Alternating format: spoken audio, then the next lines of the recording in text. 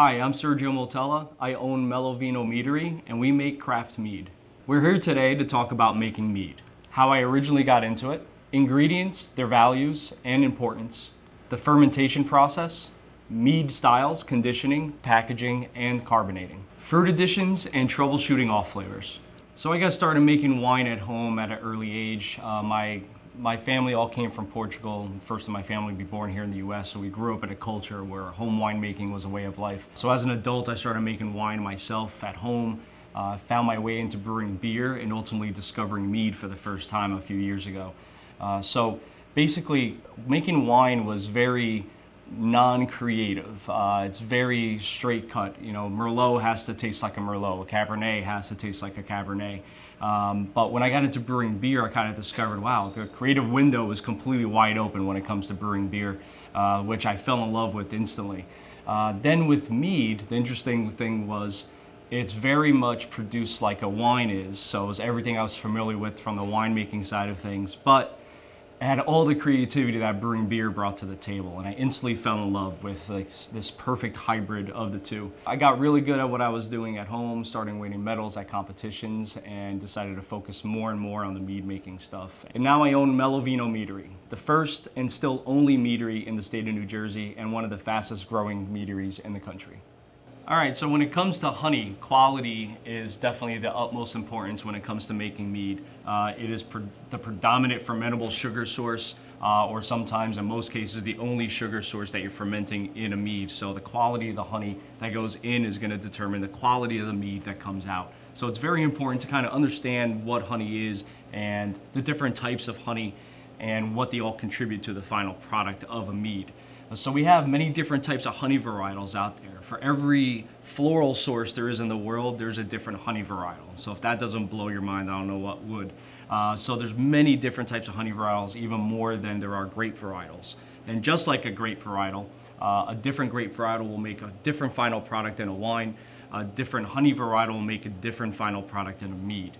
Uh, so it's very uh, important to understand the type of honey and the character of that honey varietal that you're using uh, to, determine what kind of mead it's going to produce at the end.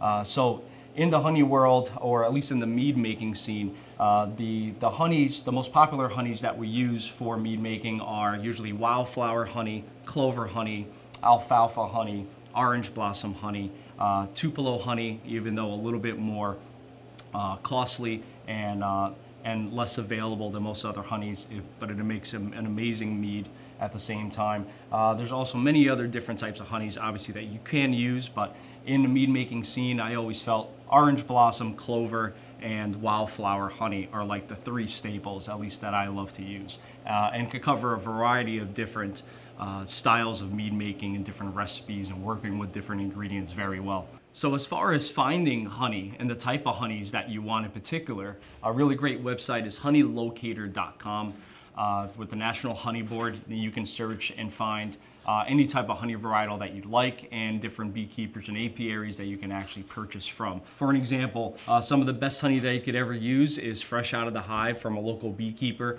Uh, and I'm sure most beekeepers will package uh, their, their honey in, uh, usually they package in one pound jars like you see here or sometimes, you know, in just regular mason jars or certain bigger uh, types of containers. You'll see a five pound container here.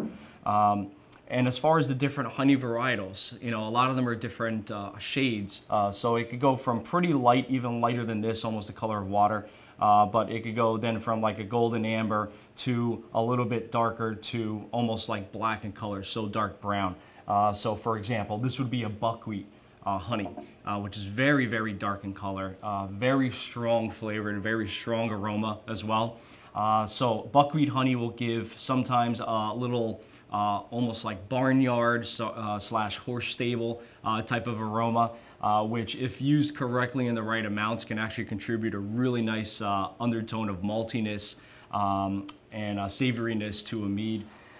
we also then have something uh, in between, sometimes you get a, uh, a, dark clover honey or a dark wildflower honey uh, that can produce a lot of nice toffee, floral notes, um, and uh, almost a little caramelly as well, uh, slightly burnt sugar.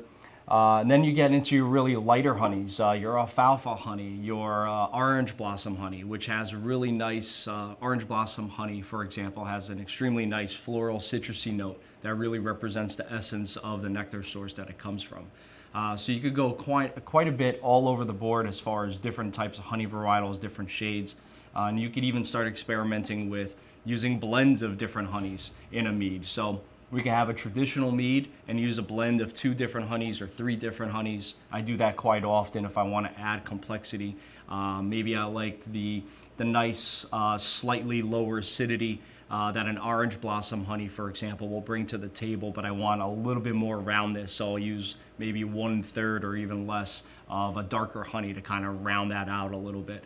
Uh, so you can kind of experiment with different combinations and or just single honey varietals to really see exactly what that specific honey varietal will give you at the end of the day. Uh, because at the end of the day, once fermentation is done, you're basically tasting what that honey actually is without the sugar in front of it. You know, during the fermentation process, you know, the yeast are consuming the sugars.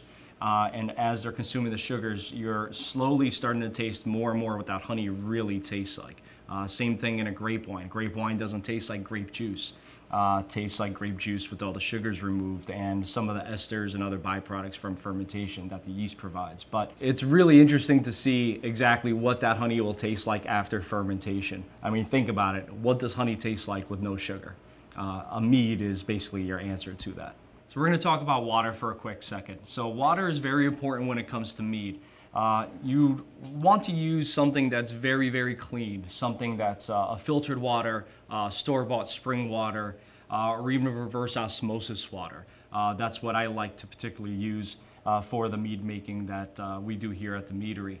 so the perfect example that I could kind of give you guys as to how important water is to a mead is for most of your average mead recipes, it is about one part honey to four parts water. So if you don't think water quality makes a big difference in a mead, I beg to differ. Perfect example, depending on your water source at your home, uh, you can have very high uh, mineral content in your water, extremely hard water, or you can have extremely soft water, anywhere in between. Uh, so it's going to make a big difference, especially when you don't have much calcium in your water uh, your mead is not going to want to clear up and clarify naturally. Calcium is a big proponent in clarification in any kind of a fermented product. Uh, so it'll help uh, dramatically. No calcium in water might be great for your coffee or espresso machine and to keep your stainless steel sink clean, uh, but when it comes to brewing beer or making mead or even wine, uh, minerals, different minerals in the water are going to play a significant part even with reverse osmosis water, which by definition it has all its nutrients removed, we are adding some nutrients back to the water during the fermentation process, which we'll get into in a little bit with our nutrient additions. So as you can see, water is a big proponent in the character of the final product of a mead. Uh, so you want to take your water into consideration when you do want to make mead. Again, quality in, quality out. So yeast and nutrients. This is when a water and honey mixture starts becoming a mead, particularly with the yeast. Uh, so yeast selection is pretty important. Uh, we have an example of what dried, um, dried yeast will actually look like. Uh, normally in the homebrew scene, you'll find it in five or eight gram packets. Uh, in the commercial scene, we buy it in about 500 gram packets, these large vacuum sealed bricks, they basically look like. Uh, but this is basically what it looks like. It's all the same on the inside. And there's many, many different types of yeast that you can use when it comes to mead. So there's homebrewers that have experimented quite a bit with using ale yeasts or even lager yeasts that normally are used for brewing beer. Uh, in the in the commercial and in, even in the homebrew mead scene, wine yeasts are most mostly used uh, to make mead. So you could get quite a bit of selection for most of your homebrew shops, uh, whether online or local to you. Uh, but I think in mead making, there's certain wine yeasts that are in particular really great for making mead. One of which, which I think it would be agreed upon across the board by uh, most homebrewers and commercial meaderies, would be 71B. It's uh, Lalvin yeast. Uh, it's a dry yeast, again, uh, comes from the Narbonne region of France. Uh, and it's a really, really great yeast that matures nice and young, so your mead will be um, ready to drink and mature enough to drink a lot sooner. uh, which I'm sure everybody wants, particularly when the stereotype for mead, I think, used to be that it's going to take about a year or two before it's ready to drink. Uh, with the proper fermentation protocol, the right yeast selection, and the right uh, nutrient additions, uh, you can turn that all the way down to three to four weeks or three to four months. You really don't have to wait a whole year or two before your mead is ready to drink. Uh, so 71B uh, is a really great yeast. Uh, another, another great yeast selection would be D47. Uh, D47 provides almost, in a traditional mead, it offers a little bit almost of, an apple character to a mead. Uh, so I've noticed a lot of people picking that up uh, as well. So D47 is really great. CY3079 is also an interesting yeast to use when it comes to making mead. And it's technically a Chardonnay yeast, which uh, even on its own in a white grape wine will actually produce uh, some really nice honey characters. So you can see how uh, that would be pretty interesting even in a mead when it's actually fermenting honey. But uh, you'll get some nice honey, buttery notes, even a little bit of a pineapple character, uh, especially with certain lighter honeys when you use CY3079. So that could be a particularly interesting yeast to use as well. Uh, but across the board, especially if you're starting off, I always recommend 71B as the main yeast to use in the beginning because it's going to produce a really great mead nice and easily and, and uh, rather quickly uh, compared to some of the other yeasts as well. So nutrients. Nutrients is a huge thing when it comes to making great mead. Without yeast nutrients, you are going to have to wait a good year or two before your mead is ready to drink. Uh, so I've developed my own type of nutrient protocol, uh, which I've coined uh, TOSNA. It's uh, T-O-S-N-A. Uh, it stands for Tailored Organic Stagger Nutrient Addition.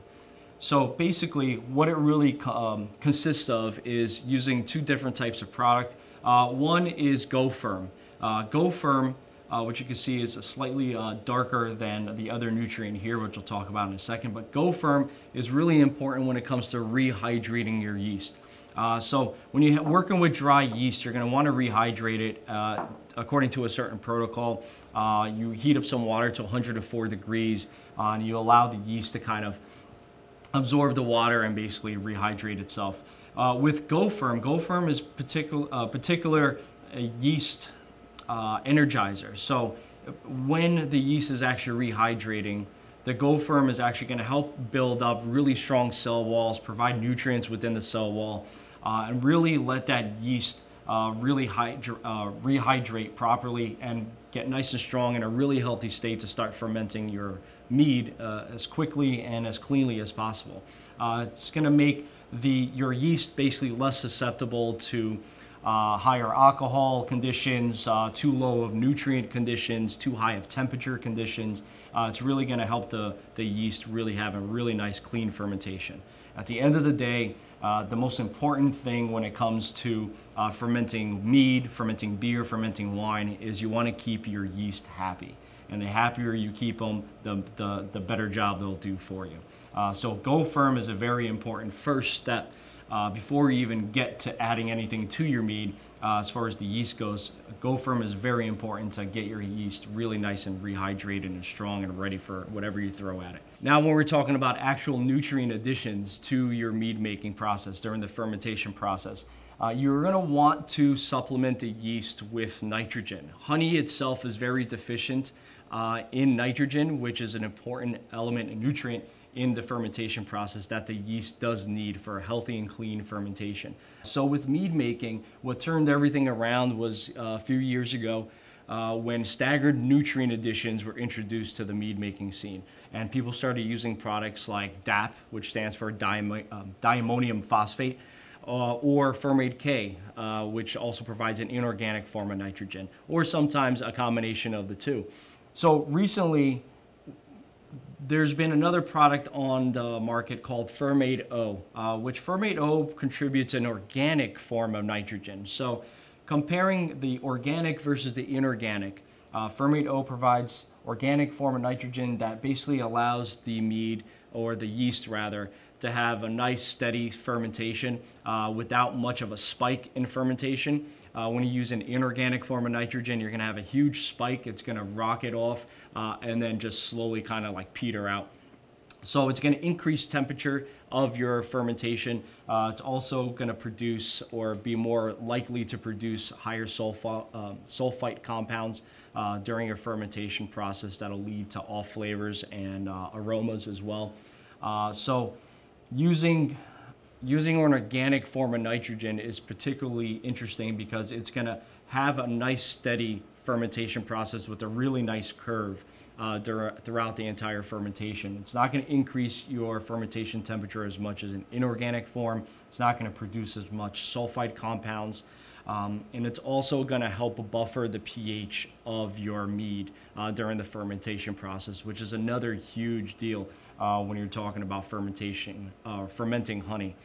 Uh, so if, you, if the pH level drops too low during the fermentation process, uh, you're gonna, it's gonna result in a stuck fermentation, which a lot of people, when they start making mead at home, uh, they follow the staggered nutrient additions that are kind of like the cookie cutter nutrient addition uh, protocol out there that everybody started using when they first started making mead. And they will still run into sluggish or stalled fermentations. Uh, and that's mainly because of two things. Either you're not providing enough nutrients or enough nitrogen for your yeast uh, during the fermentation process, or uh, you're just spiking too too early on in the fermentation process and it's going to peter out and slow down and just completely stop before you really get to the end of a complete fermentation. So as far as adding your nutrients to your mead, that's also pretty important. So you want to step feed all of your nutrients during the fermentation process.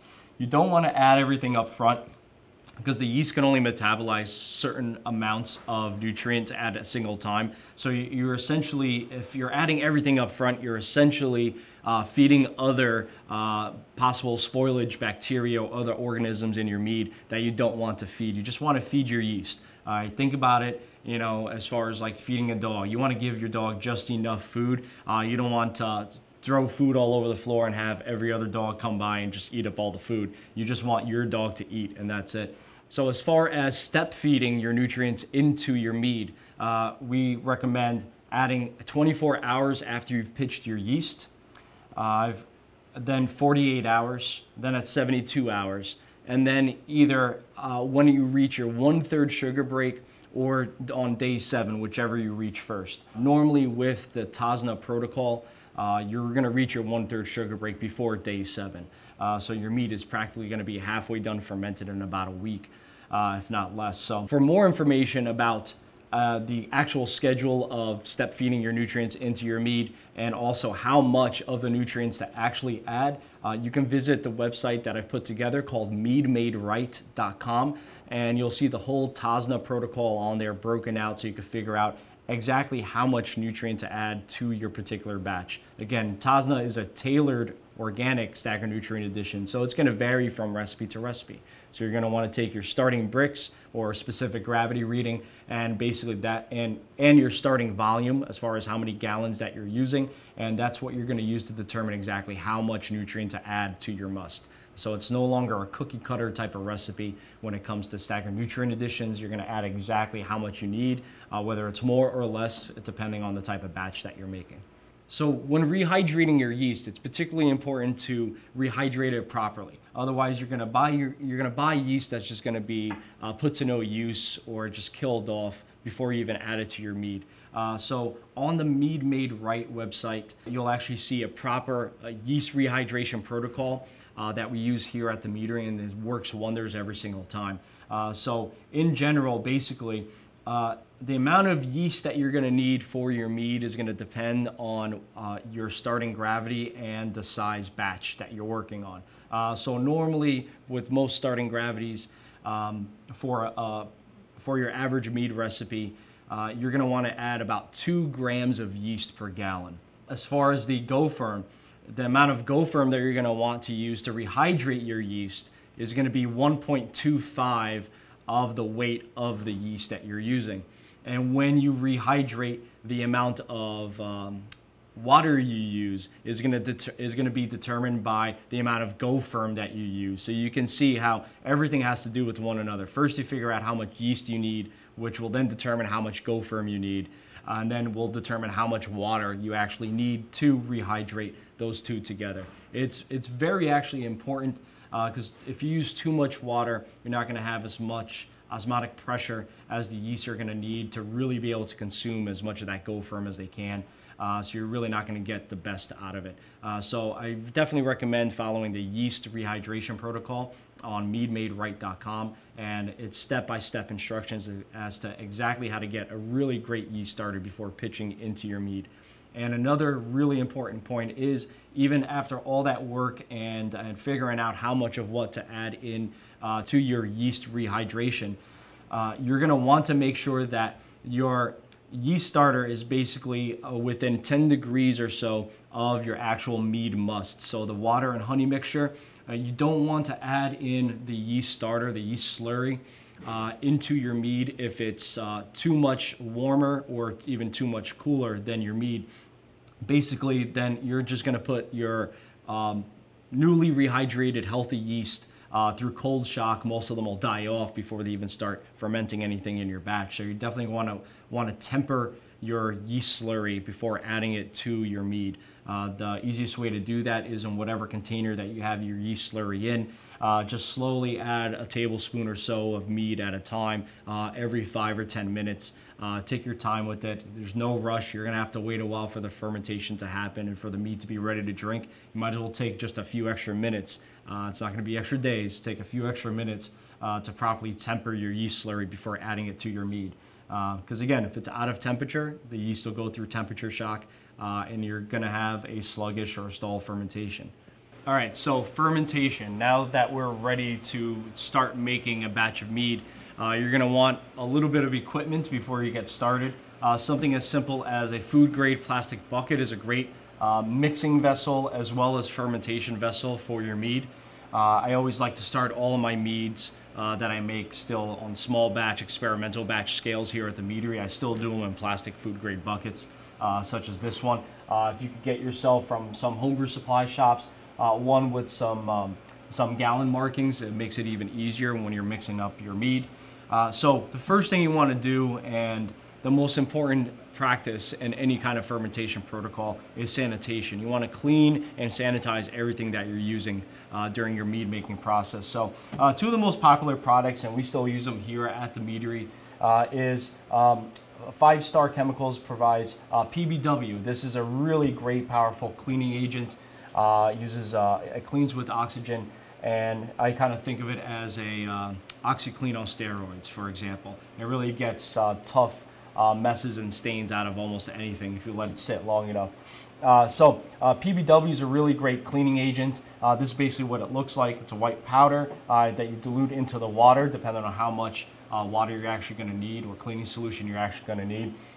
So you want to mix this up with water, um, have it sit inside of your cleaning vessel. Uh, use a soft cloth uh, if you're using plastic so you don't scratch uh, anything uh, inside of the bucket itself. Any little tiny scratches uh, will be able to harbor any bacteria or spoilage organisms. So use a nice soft cloth or a very soft sponge that won't scratch up plastic. Uh, so you go around and clean out the inside of your uh, fermentation vessel, clean any type of uh, stirring equipment, whether a plastic spoon, a stainless steel spoon or paddle uh, like we have here. Uh, anything that the mead is basically going to touch or that is going to touch the mead uh, should be clean and sanitized. As, so that's as far as cleaning. Sanitization uh, the most popular product, and we still use this here also at the meadery, another product from Five Star Chemicals is Star San. Uh, they also have a, a lower foaming uh, option, which is called SaniClean. Uh, this is a really great, um, basically contact sanitizer. So you're gonna wanna use one ounce of Star San for every five gallons of water that you use, uh, that you're gonna actually make your sanitizer with. Uh, with those five gallons, for example, you can easily throw it into the same bucket that you're about to use for your fermentation vessel. You throw everything in, uh, your mixing paddle, uh, your hydrometers, um, um, a stirring wand, anything that you're gonna actually use uh, during the mead making process. Uh, just throw it into the sanitizer and let it sit for a minute or two. Uh, you can just put it into a separate bucket and have everything pre-soaking before you even get started uh, is a really great idea to make sure everything is nice, clean, and sanitized. And this is a no rinse sanitizer. You could easily dump this out uh, not have to worry about needing to rinse anything out. Uh, it's really, uh, there's a particular thing as far as foaming goes that a lot of people are preoccupied with. Usually Star San produces a decent amount of foam. Do not fear the foam is the suggestion from the manufacturer. The foam is just safe. Uh, it doesn't matter if there's a little bit of foam in your bucket or on your stirring wand or anything like that. Uh, the foam is just going to be safe uh, for your mead making or beer making or anything that you're using Star San for. Uh, so Star San is a really great product for that. If you're not into as the amount of foam that Star San does produce, like I said, they do produce a, another product called SaniClean. Uh, that'll require a little bit longer contact time, but it'll produce a little less foam than Star San. So as far as mead making, um, mead making tools, another great thing to have, unless you pick yourself up a digital refractometer or an analog refractometer, uh, you're gonna wanna get yourself a nice hydrometer tube and a hydrometer. Uh, so there's hydrometers in various different scales. Uh, there's you could get a hydrometer that basically does everything um, has a much larger scale all in one, so you only need one of these. It's always great to have a backup hydrometer if this is going to be your only method for actually uh, measuring your sugar content in your mead. Uh, because these two do tend and you know have a really great reputation for slipping out of your hand and breaking. These are made out of fragile glass, uh, so having a backup is never a bad idea. Uh, especially when you're using cleaning agents that can be a little bit slippery, uh, running them underneath water, they can easily slip out of your hand. So the difference between using a hydrometer and a refractometer is with a hydrometer, you're gonna need enough product in your hydrometer tube for the hydrometer to actually uh, work. Uh, so you're gonna need a decent amount of product, which especially when you're talking about sanitation protocol, you're not gonna want to add this product back into your mead. Uh, you're always gonna risk infection uh, or spoilage of your mead. So you're kind of putting a decent amount of product to waste uh, even though you could drink it with that so you don't waste it, but throwing it back into your fermentation bucket or aging uh, vessel uh, is not recommended. Uh, just for risk of contaminating anything that you already got going. Uh, so with the refractometer, uh, the, the, coolest thing about it is all you really need is like a drop or two onto the refractometer. And if you're using an analog one, you just hold it up to the light. And with a drop or two, you could actually measure the actual Brix uh, or uh, of the mead, uh, or there are hydrometers that also have a specific gravity scale built into it uh, as well. And also when mead, uh, for mead making in particular, refractometers are more made for the wine scene. Uh, so some of them might only go up to about a 30% Brix, you know, 30% sugar, 30 Brix. Uh, so you're gonna want, if you're gonna use a refractometer for mead, you might want to look into a, a, refractometer that goes a little bit higher than that uh, if you're gonna want to get into your sweet mead making as well. Uh, so that's the difference between using a hydrometer and a refractometer. Uh, so a lot more waste with hydrometers and hydrometer is also, a hydrometer reading is also going to depend on the actual temperature of the must as well. So there's always going to be a little variance and you're going to want to calibrate that and take that into compensation as well. So as far as fermentation and starting to put your batch of mead together, uh, you're going to want to take into consideration that honey is going to vary in sugar content. So uh, honey could be anywhere as low as around 78, 80% sugar, all the way up to about 96, even 98% sugar on the very high end. Uh, so you're gonna want to take that into consideration when you're working off of a recipe that calls for a specific amount of honey. Usually the best thing to actually uh, go uh, according to is the actual starting sugar. Uh, so you measure your sugar. Even if you work off a specific honey uh, amount uh, for a particular size batch, uh, just keep that as a reference, but keep in mind that it, it, could be a little bit less or higher than the sugar that you're uh, possibly shooting for. So uh, start amount, start with a specific amount of honey that you know is going to get you within that range of your starting Brix or starting sugar um, target. But then, you know, be able to either add a little bit more water or add a little bit more honey to kind of balance it out and hit your starting gravity. Uh, so basically, you're going to want to dump in. Um, the easiest way that I found to, to make mead, especially at home, is to start dumping in that starting amount of honey into your fermentation bucket uh, or carboy and, and then heat up about a gallon or so of water. So if you're making a five gallon batch, heat up about a gallon or so of water. Uh, that way, that water is going to help dilute that honey uh, in the beginning. is going to make the, the whole mead making process a lot quicker, a lot smoother. Uh, so you're going to uh, dilute that honey into that starting amount of water. Then you can start adding in your cold water or cold or room temperature water. Uh, it doesn't have to be hot or cold, but and then you start filling it up until you get to about uh, close to your starting uh, target volume. Let's say five gallons in this case. so you stir everything up uh, really nicely with a stainless steel spoon or mixing paddle, plastic spoon, as long as it's clean and sanitized is just fine. Uh, mix everything up, make sure you get all that honey that might be settled at the bottom, whatever might not have diluted with that starting amount of water up to the top, get everything homogeneous uh, before taking any kind of a reading because you could take a reading of some uh, you know, more water on top than your thicker sugar at the bottom, and then you have an off reading. So you want to make sure everything is well mixed before you take any kind of a reading, especially in the beginning. Uh, so mix everything up nice and properly and uh, take your reading, uh, add a little bit more honey or a little bit more water if you need to go up or down on your starting uh, sugar content uh, until you hit that mark. Uh, once you have that all taken care of, obviously the, the mixing utensil could be removed uh, you can add in your yeast slurry as soon as it's been rehydrated and tempered to around the same temperature as your mead must. Uh, and add your yeast slurry in. You throw a lid over the top of your bucket with an airlock, or you can also just take uh, some towels and just loosely uh, wrap them or tie them down over the over the fermentation vessel as well. Uh, during the fermentation process, especially with mead, in wine yeast, oxygen is actually a good thing, uh, specifically in the beginning parts of fermentation. So you're gonna wanna introduce oxygen uh, into the must during the first few days or first half of fermentation.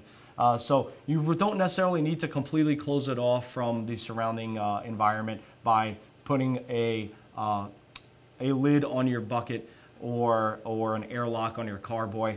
Uh, you can just keep it actually slightly open with the lid just slightly off to the side. Or if you're worried about fruit flies or any bugs getting in, you could just, like I said before, just cover it with some cloths. Um, that way that'll protect it from anything falling in. As far as fermentation management, now you're gonna get into your nutrient regimen. So uh, 24 hours after you pitch your yeast, your first nutrient addition is gonna take place. Uh, so you're gonna wanna add in your nutrients, but before you do, it's very important to degas your mead.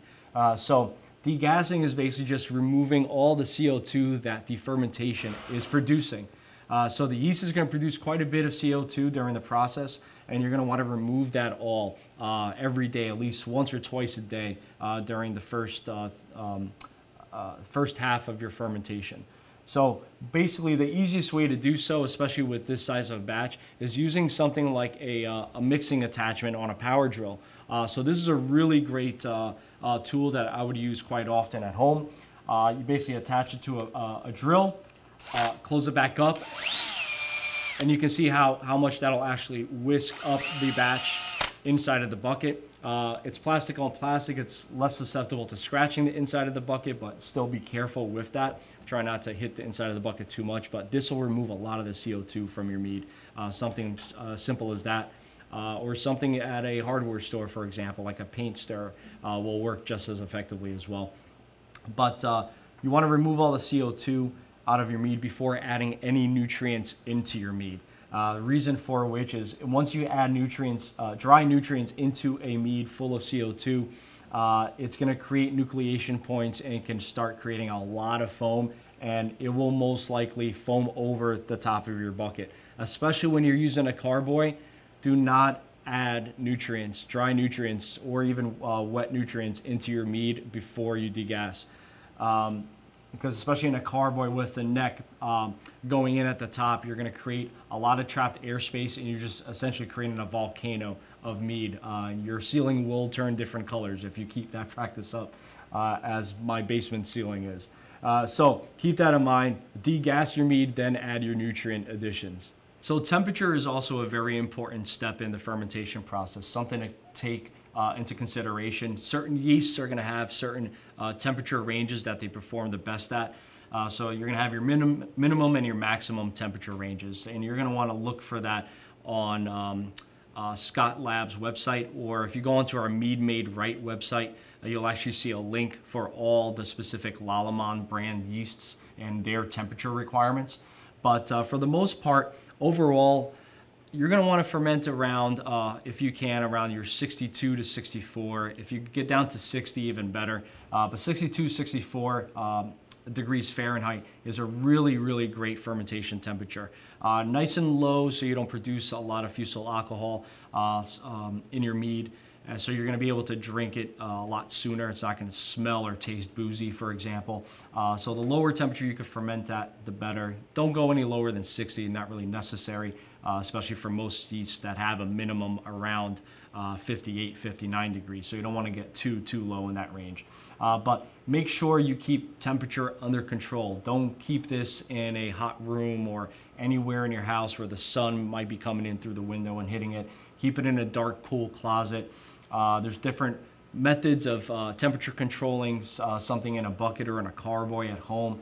Uh, something you could do is, a, is uh, called a swamp cooler, where you basically take some kind of a, a tote or um, fill it up with water, enough water to have a, a blanket around or a t-shirt wrapped around your carboy or bucket that dips into the water and have a fan basically just blowing air on it all day that actually can drop the temperature of a carboy or a bucket uh, with fermenting product in it by at least like eight degrees from uh, ambient temperature. So that's a different, uh, significant uh, drop in temperature using something as simple as like a wet t-shirt with a fan on it. Uh, so you can also spend more money on getting more um, uh, you know, higher tech equipment, uh, maybe throwing in a, um, throwing your bucket or carboy into a small like college fridge that's big enough just for that one vessel or into a chest freezer or, or big unused refrigerator uh, with a temperature controller on it that'll regulate the, uh, the power of the refrigerator on and off to control the temperature to whatever you set it to. Um, that's my preferred method of doing that because then you can also always dial in the exact fermenta- uh, fermentation temperature that you want for that particular batch. So the more consistency you have with temperature and and, and the more you pay attention to temperature overall during your fermentation process is going to make consistent and great mead. Uh, so if you ferment, uh, if you were to make a 10 gallon mix of honey and water and split it into two separate fermentation uh, vessels, and you were to ferment one at 60 degrees and one at 78 degrees, you are going to notice a big, big difference between the two. So if you want to make really great mead, um, that's really smooth uh, to drink, really nice uh, and tasty without fusel alcohols, you're going to want to ferment lower. Uh, if you don't, uh, you're going to get a whole different final product that might take a lot longer to age out some of the off flavors and fusel alcohols that that might produce. So aging your mead. Uh, you could either age your mead in a plastic bucket, just like you could ferment in. Uh, you could age them in plastic carboys, glass carboys, glass jugs. Uh, there's all these different types of options out there on the market for them. Uh, but uh, one thing in particular as far as aging goes is your airlock. So if you're gonna age your mead for quite some time, one thing to keep into consideration is the type of airlock that you use. So your, your average airlock is gonna look like this. Sometimes they also have these S type of airlocks uh, that basically are exactly the same as far as function goes. Uh, you fill it up with some uh, sanitizer or some people even use vodka um, inside of your airlock. Uh, the, the CO2, the air is able to escape uh, through the water and bubble out. Uh, escape through the top of the airlock, but there's no oxygen that's able to come back into the meat itself. Uh, so that's basically how an airlock works. So this again is one filled with sanitizer, uh, which is just fine. But if you're gonna age this for an extended period of time, you're gonna end up forgetting about it. And what will happen is little by little, that sanitizer uh, might start uh, evaporating away. Uh, and before you know it, your airlock goes dry and guess who shows up? Fruit flies. Fruit flies will work their way into the tiny little pinholes at the top and work, your, work their way down into the airlock and into your mead. Uh, and it can also um, oxidize your mead during the aging process. So that's another thing to keep in mind is uh, if you're going to age mead for a prolonged period of time, make sure to stay on top of your airlocks and make sure that they don't uh, evaporate away on you and go dry.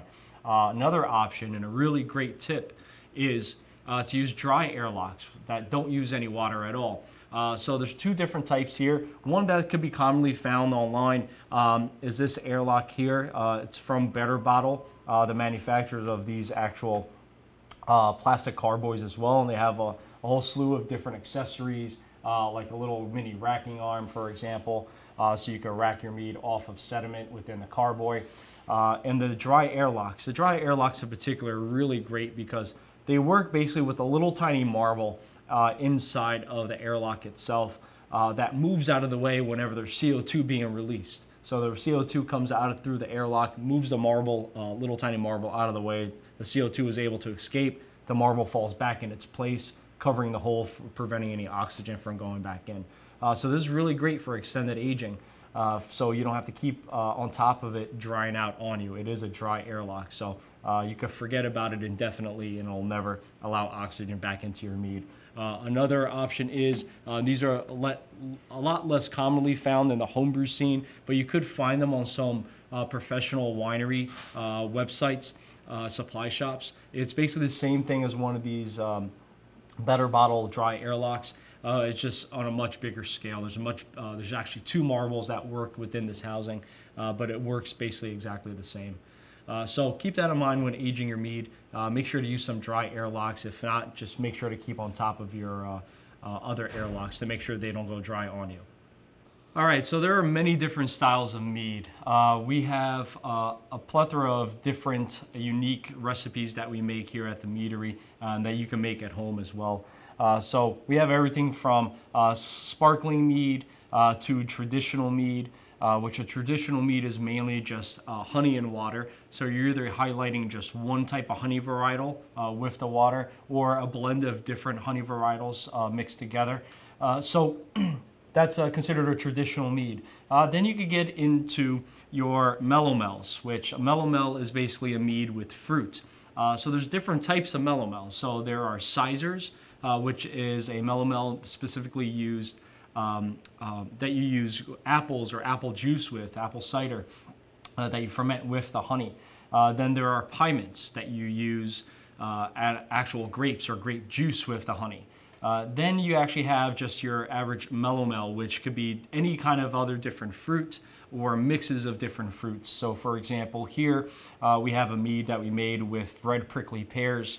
Uh, this is a, a, mead made with a light blend of berry juices. Uh, this is a mead made with a, a blend of dark uh, berries, dark fruits uh, like black currants, black cherries, blackberry, blackberry, and black raspberry. so then you have uh, your metheglins, where metheglins are meads that are made with use of spices.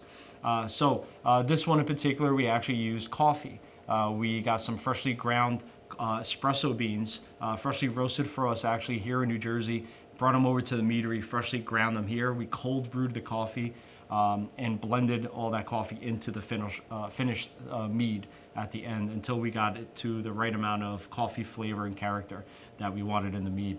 So as you can see, you have uh, quite the creative window here uh, for possibilities when it comes to making mead, uh, particularly when you're making fruit meads.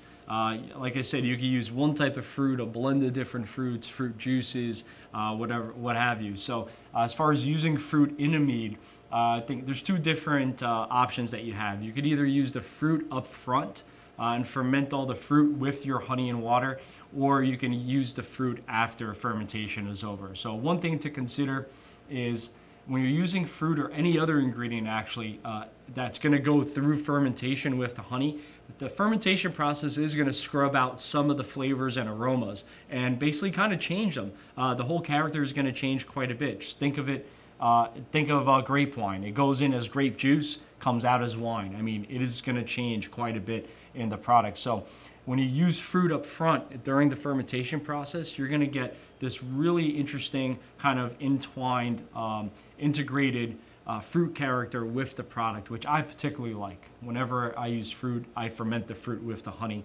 Uh, if you use fruit after the fact, that's also another option that you can do. Uh, you're going to get a lot more of that raw fruit character. Uh, whether you like it or not, that's where you're going to get if you use it after fermentation. So with some recipes, it might be advantageous to do that. Uh, and some recipes, it might not.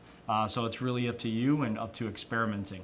Uh, as far as spices go, the use of spices in a metheglin, uh, I believe should be used after fermentation. Adding the spices in the beginning of fermentation to go through the fermentation process, again, is going to change the flavor uh, of and the aroma of those spices quite a bit. So if you want to really preserve everything that those particular spices or coffee, for example, vanilla beans, uh, star anise, cinnamon, whatever you want to add into your mead, uh, you're going to want to preserve that raw spice character. Uh, if not, it's going to change quite a bit throughout the fermentation process. So one thing, uh, one rule of thumb that I always keep to, uh, in practice is whenever I use spices, I add it after. Whenever I use fruit, I add it before fermentation. So some troubleshooting tips for uh, once, once your mead is actually done fermenting and aged out, uh, you can actually find that some meads may be lacking a little bit in acidity or maybe have too much acidity if the pH dropped too much during fermentation process. Uh, it could be too sweet or too dry compared to how you were really, uh, what you were really targeting for that final product. Uh, so some real quick troubleshooting tips are if you have a mead that goes really, really too dry, you would have to you would have to add way too much honey to really save it to, to create into something that you would rather have it be. Uh, I would recommend just saving that mead on the side uh, and using it uh, whenever you do have a mead that maybe came out too sweet, for example, and using that dry mead now to do some blending and blending of the two down to uh, a more homogeneous uh, sweet spot, for example, pardon the pun. Uh, so if it's too much acidity, one good thing to do is to add sweetness to balance out the acidity. If the mead is too sweet, uh, adding acidity will balance out the sweetness. So uh, you can use both of those to balance each other. As far as adding a sweetness, the easy thing, obviously, the most obvious thing, obvious thing to do would be to add honey. Uh, dilute a little honey into water and add that into the mead. If you want to add acidity, uh, there's different products on the market, such as Acid Blend, uh, which I don't particularly like, but that's going to be the most common uh, form of acid additions that you can purchase, which is a blend of three different types of acids. Uh, it's citric acid, tartaric acid, and malic acid. I recommend just purchasing uh, the three acids separately, uh, which you can do from most homebrew supply shops uh, instead of buying the acid blend um, all bunched up because the acid blend is going to be predominantly citric acid no matter who you buy it from and that might not be the type of acid that you want to add to that particular mead. So buy the different acid additions separately on and experiment with those and you'll find that you can uh, add tartaric acid to a pyment, a mead made with grapes. Uh, because the tartaric acid is more commonly found in grape juice, so it'll be more uh, suitable uh, type of acid addition to put into that type of a mead. Uh, the malic acid, malic acid is normally found in uh, apples predominantly. Uh, that'll be a great acid choice uh, to add acidity to a cyser, a mead made with apple juice or apples. Uh, so as you can see, using an acid blend might not cover all of your bases. You could fine tune your acid additions quite a bit if you buy them all separately. Thank you for joining us. For more information about how to make mead, visit our website called meadmaderight.com. For more information about the types of products that we offer at Melovino, you can go to melovino.com for more information on to how to purchase more products and ship directly to you for tour and tasting information as well.